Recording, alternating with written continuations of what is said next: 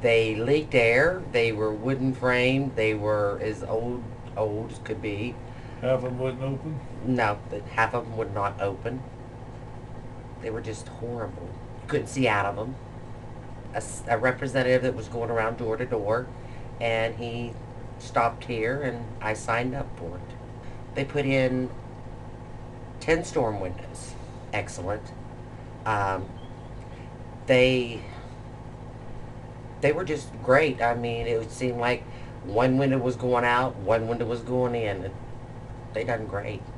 They worked fast, but they were very friendly, um, very efficient.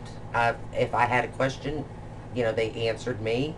Uh, they uh, showed me, you know, how to, to do everything with them after, you know, after they got them in. Um, they, when they would get one window in, they would, you know, ask me, you know, what I thought of it, and it was just like, it was like night and day compared to the other ones.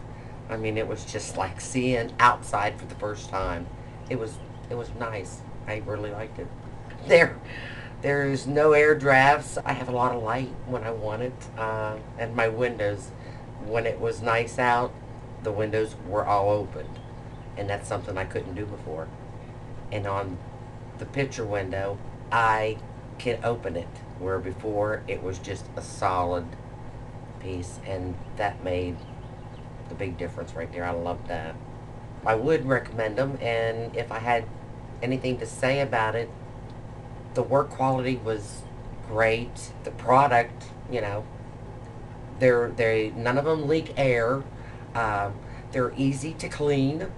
They're there's a lot of advantages to it. Um, if they want a company that I could say that was dependable and efficiency to get the job done, I would recommend them. I mean, that would be, and the, the people were all very, you know, very good.